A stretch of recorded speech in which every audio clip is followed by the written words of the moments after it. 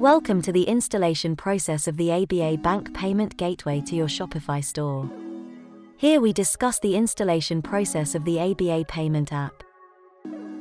Make sure you have fulfilled the basic requirements. Active Shopify store. Active ABA account. Provide your store URL via WhatsApp to obtain the app installation URL.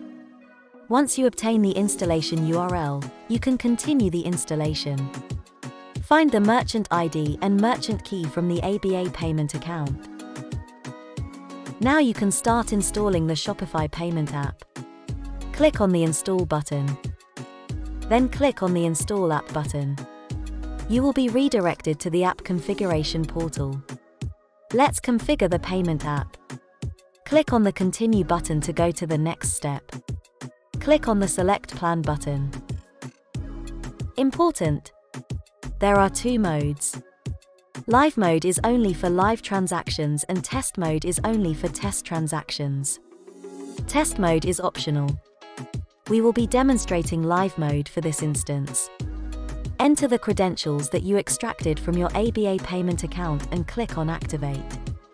Select the relevant payment methods from the list and click on Activate. Your payment app is installed. Please send the following details via WhatsApp to complete the merchant onboarding process and we can activate the live mode of the application.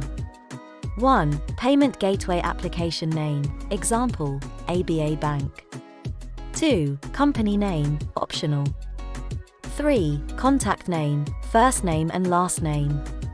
4. Contact email. 5. Contact mobile number, WhatsApp, Viber, or Telegram mobile number. 6. Shopify URL. 7. Billing address. Thank you for watching.